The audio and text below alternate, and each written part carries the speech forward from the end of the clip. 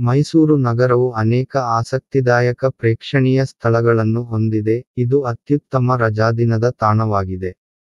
ಮೈಸೂರಿನಲ್ಲಿ ನೋಡಬೇಕಾದ ಸ್ಥಳಗಳ ಪಟ್ಟಿಗೆ ಮರಳು ಶಿಲ್ಪ ಸಂಗ್ರಹಾಲಯವು ಇತ್ತೀಚಿನ ಸೇರ್ಪಡೆಯಾಗಿದೆ. ಚಾಮುಂಡಿ ಬೆಟ್ಟಕ್ಕೆ ಹೋಗುವ ದಾರಿಯಲ್ಲಿರುವ ಈ ವಿಶಿಷ್ಟ ವಸ್ತು ಸಂಗ್ರಹಾಲಯವು ಭಾರತದಲ್ಲಿಯೇ ಮೊದಲನೆಯದು.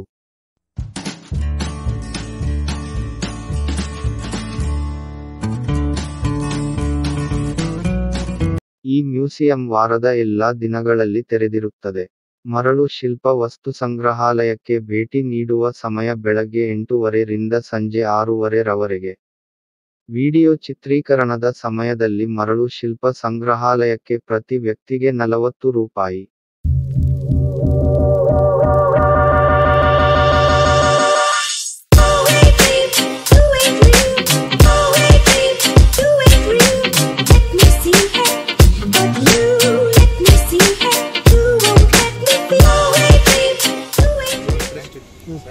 ಫಾದರ್ ನಾನು ಆರ್ಟಿಸ್ಟ್ ಗೌರಿ.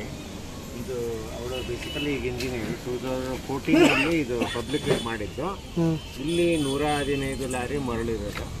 ಅದನ್ನು ಫಿಲ್ಟರ್ ಮಾಡಿ ಹೈ ಕಂಪ್ರೆಷನ್ ಮಾಡಿ ಕಾರ್ವಿಂಗ್ ಮಾಡ್ತಾಳೆ ಇದು ಒಂದೊಂದು ಒಂದು ಹನ್ನೆರಡು ದಿವಸ ಒಂದು ಇಪ್ಪತ್ತೆರಡು ದಿವಸ ಆ ರೀತಿ ಕಂಟಿನ್ಯೂಸ್ ಆಗಿ ಒಟ್ಟು ಏಳು ತಿಂಗಳು, ಏಳುವರೆ ತಿಂಗಳು ಅವಳು ತಗೊಂಡಿದ್ದು ಇದು ಮಾಡೋಕ್ಕೆ.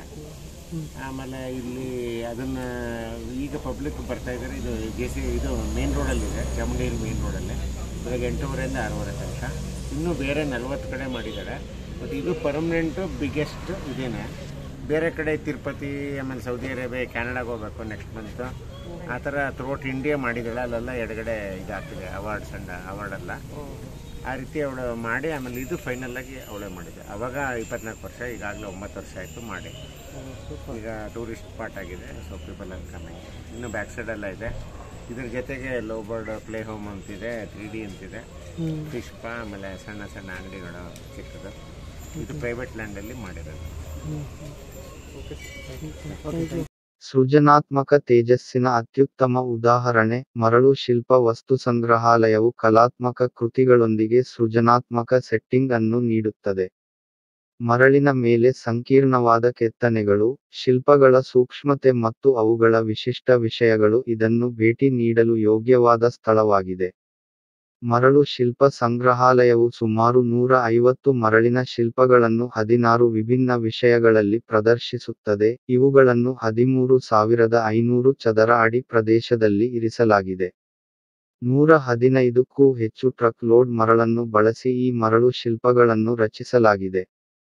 ಮೈಸೂರು ಪರಂಪರೆ, ವನ್ಯಜೀವಿ, ಸಂಸ್ಕೃತಿ, ವಿವಿಧ ಧಾರ್ಮಿಕ ಮಹಾಕಾವ್ಯಗಳು ಮತ್ತು ಕಾಲ್ಪನಿಕ ಕಥೆಗಳು ಮತ್ತು ಕಥೆಗಳ ನಿದರ್ಶನಗಳಿಂದ ಹಿಡಿದು ವಿವಿಧ ಆಸಕ್ತಿದಾಯಕ ವಿಷಯಗಳನ್ನು ವಸ್ತು ಸಂಗ್ರಹಾಲಯದಲ್ಲಿ ಬಳಸಲಾಗಿದೆ.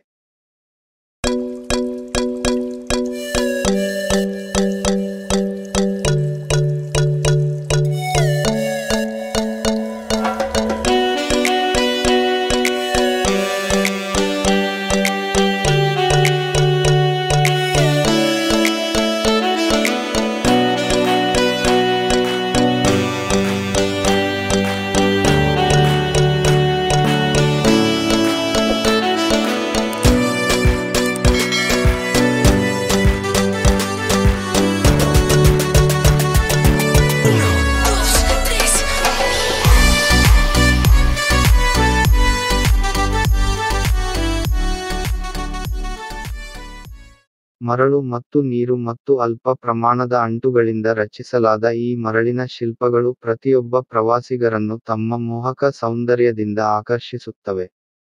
ಮರಳಿನ ಶಿಲ್ಪಗಳನ್ನು ಸಾಮಾನ್ಯವಾಗಿ ಕಡಲತೀರಗಳಲ್ಲಿ ಅಲ್ಪಾವಧಿಗೆ ರಚಿಸಲಾಗುತ್ತದೆ. ಈ ವಸ್ತು ಸಂಗ್ರಹಾಲಯದಲ್ಲಿ ಈ ಶಿಲ್ಪಗಳನ್ನು ಬಿಸಿಲು ಮತ್ತು ಮಳೆಯಿಂದ ರಕ್ಷಿಸಲಾಗಿದೆ. ಕೀಟಗಳಿಂದ ರಕ್ಷಿಸಲು ಕೀಟನಾಶಕಗಳನ್ನು ಸಹ ಬಳಸಲಾಗುತ್ತದೆ.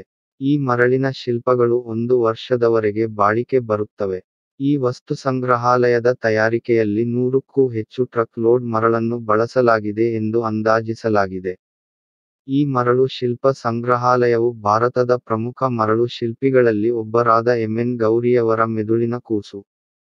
ಲಲಿತಕಲೆಯಲ್ಲಿ ಸ್ನಾತಕೋತ್ತರ ಪದವಿ ಪಡೆದಿರುವ ಗೌರಿ ಈ ವಿಶಿಷ್ಟ ವಸ್ತು ಸಂಗ್ರಹಾಲಯವನ್ನು ರಚಿಸಲು ನಾಲ್ಕು ತಿಂಗಳ ಕಠಿಣ ಪರಿಶ್ರಮ ಮತ್ತು ಅಚಲವಾದ ಸಮರ್ಪಣೆಯನ್ನು ತೆಗೆದುಕೊಂಡರು. ಮೈಸೂರು ನಗರದಲ್ಲಿನ ಈ ಪರಿಸರ ಸ್ನೇಹಿ ಆಕರ್ಷಣೆಯು ಹಚ್ಚ ಹಸಿರಿನ ಪ್ರದೇಶದಲ್ಲಿ ಹರಡಿಕೊಂಡಿದೆ. ಮೈಸೂರಿನ ಸುತ್ತೂರು ಮಠದಲ್ಲಿ ಅಖಿಲ ಭಾರತ ವೀರಶೈವ ಮಹಾಸಭಾ ಆಯೋಜಿಸಿದ್ದ ಉತ್ಸವದಲ್ಲಿ ಮರಳಿನ ಶಿಲ್ಪಕಲೆಯ ಲೋಕಕ್ಕೆ ಆಕೆಯ ಪಯಣ ಆರಂಭವಾಯಿತು. ಈ ಹಬ್ಬಕ್ಕಾಗಿ ಲಿಂಗ ಮತ್ತು ನಾಗರಹಾವು ಹೊಂದಿರುವ ಶಿವನ ಮರಳಿನ ಶಿಲ್ಪವನ್ನು ರಚಿಸಿದ್ದಳು.